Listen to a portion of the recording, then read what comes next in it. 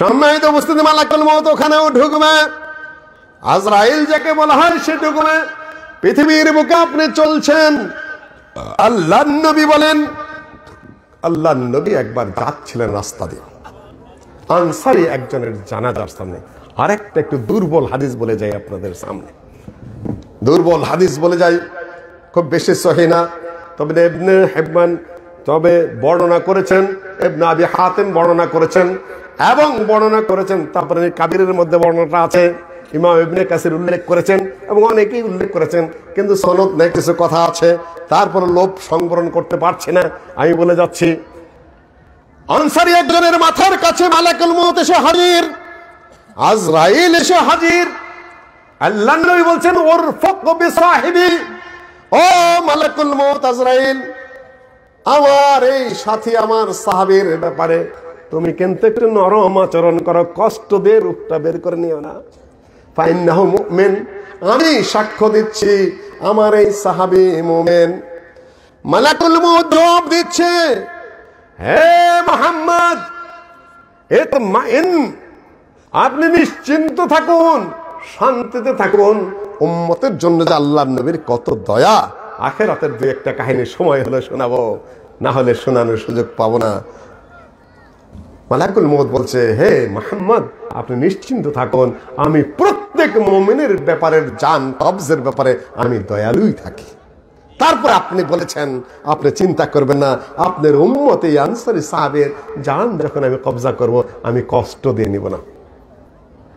আর হে মোহাম্মদ, আপনি শুনুন, এই পৃথিবীর বুকে যত ঘর আছে, ফিল বাহার সাগরে হোক বা ভরে হোক বা চড়ে হোক বা পাহাড়ে হোক, আর যত ধরনের ঘর আছে, সোনের ঘর হোক, মাটির ঘর হোক, বিল্ডিং হোক বা যাই হোক বা টাওয়ার হোক বা গাড়ি হোক, যেখানেই হোক না কেন, আতা সাফাহ খামসা মাররাত দৈনিক আমি পাঁচবার প্রতি ঘরে ঢুকি।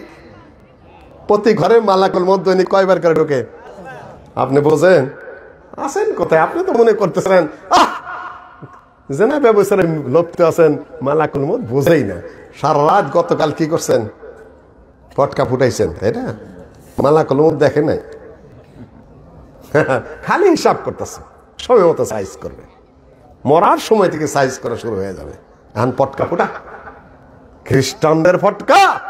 ওদের থার্টি ফার্স্ট নাইট তুমি মুসলমানের বাচ্চা, তুমি মুসলমানের সন্তান, মুসলমানের ঘরে জন্মগ্রহণ করেছ, আর তোমার খ্রিস্টানদের পটকা ফোটানোর অনেক শখ। তোমার বাবা মুন্সি, তোমার বাবা মৌলবী তোমার বাবা হাফেজ, তোমার বাবা হাজি সাহেব, তোমার বাবা মাকবর সাহেব, তোমার বাবা কত কিছু। তুমি রাত্রের অন্ধকারে ফটকা ফোটাও, তোমার বাবা মার কোনো খোঁজ নেই। খ্রিস্টানদের জয়ধ্বনি করো, মুসলমানের বাচ্চা হয়ে তোমার লজ্জাও করে না, তোমার শরমও করে না, তোমার ঘৃণাও নাই, তোমার পিতও নাই, তোমার কিচ্ছু না। তুমি কি করো? তুমি নিজেও বোঝো না। মুসলিম সন্তানদের আচরণ। থার্টি ফার্স্ট নাইট, একত্রিশে ডিসেম্বর। তোমার তোমার দেশের জাতীয় অনুষ্ঠান, তোমার এটা ধর্মীয় কিছু। তুমি কোথা থেকে আমদানি করলে? ছেলে তোমার থাকা চাই, তোমার সরম থাকা চাই, তোমার থাকা চাই, তোমার আখলাখ থাকা চাই, কিংবা থাকা চাই, পীর থাকা চাই সেই কোথাকার কোন খ্রিস্টান জগতের কোথাকার আমেরিকার কোথাকার ব্রিটেনের তারাও এত ফটকা ফুটে না তুমি বাংলাদেশ গলিতে গলিতে তাদের খ্রিস্টানদের পটকা ফুটিয়ে তুমি সাউন্ড পলিউশন ঘটাচ্ছ, তুমি এয়ার পলিউশন ঘটাচ্ছ, মানুষের ঘুম নষ্ট করছ, মানুষ তুমি তোমাকে সাপ দিচ্ছে, লানত করছে, এই শয়তানের অপমৃত্যু হয়। লোকটা সারাদিন কাজ করে ঘুমাতে গেছে। তুমি খ্রিস্টানদের দালালি করতে গিয়ে ওখানে ঠাস করে একটা ফটকা ফুটে দিলে। তোমার বিবেচনার তারিফ করি। হে যুবক, হে ছাত্র, হে যুবকের বাবা, হে যুবকের মা, হে যুবকের পিতারা, কোথায় আপনারা? আপনার বাচ্চারা কেন রাস্তায় নেমে এই রাত্রিতে খ্রিস্টানদের দালালি করতে গিয়ে মানুষের ঘুম হারাম করছে, ফটকা ফুটে এরকম আওয়াজ করছে। আপনি কোথায় থাকেন? কি করেন আপনি? বদমাইশির তো একটা সীমা আছে। মানুষ ঘুমাবে রাত্রে, সারাদিন কাজ করে এসে শুয়েছে। কালকে আবার অফিস আদালত আছে, সেখানে ছাত্র ছাত্রী আছে, সেখানে রুগী আছে, নানান সমস্যায় জর্জরিত আছে, আর আপনার সন্তানকে আপনি অবারিত বাড়ার পাঠা ছেড়ে দিয়েছেন। রাত্রে যা খুশি তা করে আসবে। কমন সেন্স থাকা চাই আপনাদের। মান তাসাব্বাহবে কওমেন ফাহুয়া মিনহুম। যারা যাদের অনুসরণ করে তাদের হাসর, তাদের মৃত্যু তাদের সাথে হবে। কোরা ভাষা বললাম, এই সকল কুকর্মে নেমো না আমাদের কিছু না। বাংলাদেশের কোনো কালচার না, বাংলাদেশের কোনো জাতীয় দিবস না। মুসলিম সভ্যতা সংস্কৃতির অর্থ নেই অংশ নাই। কোথা থেকে শুরু হলো আর তোমরা সেগুলা শুরু করে দিলে? আমি বিশেষ করে হালেদের সমাজকে সর্বপ্রথমে ভাবে সচেতন হতে হবে। যে আহলাদিসের ঘরে জন্মগ্রহণ করেছ, এই জাতীয় কুকর্ম যেন আর দ্বিতীয়বার না হয়।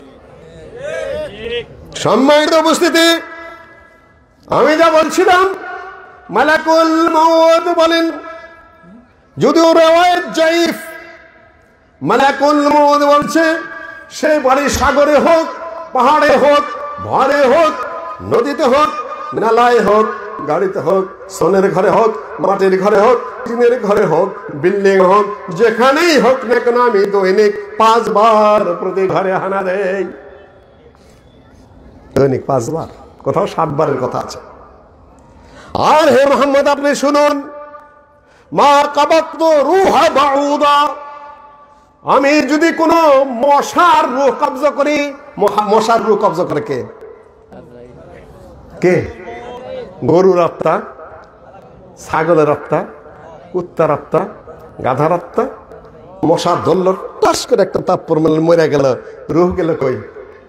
মশার মধ্যে রুহ আছে? আছে? না লড়ে কীভাবে? ওড়ে কীভাবে? পু পু করে কীভাবে?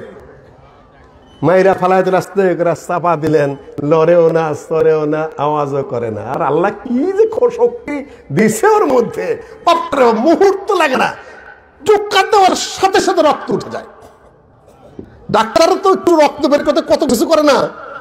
এইভাবে বান্ধে, বান্ধার পরে আবার কি করে? তার মধ্যে ডেটল মেটল লাগায়, ঘষে, ঘষার পরে এইভাবে কোন জায়গায় মাসল ঠিক আছে, তারপরে সিরেঞ্জ পুশ করে তারপর রগের মধ্যে ঢুকে, তারপর খুব পাকা ডাক্তার বের করে নিয়ে আসে। কিন্তু মশা কার কাছে ডাক্তারে শিখছিল গো? ডেটল লাগে না বানতেও হয় না। দেরি নাই। মুহূর্তের মধ্যে খালি বসলার উঠল। রক্ত নিয়ে বিদায়। কিন্তু চাপা দিয়ে দিলেন, আত্মা কোথায় গেল? মশার মধ্যে আত্মা আছে। এই বিবরণ অনুযায়ী মশার আত্মাটাকে কবজা করে। পরে বলব, সময় থাকলে কোন একটা মশার আত্মা আমি কবজা করি না। আল্লাহর নির্দেশ ছাড়া। আল্লাহর নির্দেশ ছাড়া মশার রোগ কবজা হয়। না, এখন আমি আপনাকে আরও কাছে নিয়ে আসছি। এই যে হাঁটতেছেন আপনি, পৃথিবীর বুকে কবরস্থান নিয়ে আলোচনা, এখন আপনাকে কিন্তু কবরে ডাকতেছে। ডাক শুনতেছেন আপনি? কবর আপনাকে ডাকতেছে প্রত্যেক দিন ডাকতেছে। তিরমিজির হাদিস, একটু আগে পিছু হতে পারে আমার পড়তে। আনা বাইতুল আনা বাইতুল গরবা, আনা বাইতুল দুধ। এখন বলুন আরবিতে ডাকবে, আমি তো বাঙ্গালি আমি বুঝব কি করে যারা আরবি জানেন বাইরা তারা শোনেন কিনা? চাষা হজে গেছিলেন আজি সাহেবেরা, এই সৌদি আরবে, এই বাংলা টাংলা কয়। বাংলা কয় না গো, খালি আরবি ভাষা কয়, তো দুইটা জিনিস বাংলা কয়। দেখি আজানটা বাংলায় দেয় আর আমিনটা বাংলায় কয়। তাছাড়া আর কিছুই বাংলায় কয় না। কবরের ভাষা কবর বলছে না বাইতুল দুধ, আনা বাইতুল আহসানা বাইতুল গরবা। আমি একাকিত্বের ঘর, আমার ভিতরে কোনো আত্মীয় নেই, কোনো স্বজন নেই, কোনো বন্ধু নেই, কোনো বান্ধব নেই, কোনো আত্মীয় নেই, কোনো স্বজন নেই, কিছুই নেই। এটা হলো আশা ওয়াসা মানে কোনো সঙ্গী সাথী নাই। বাইতুল গরবা, আমি পরবাসী, এখানে প্রবাসী।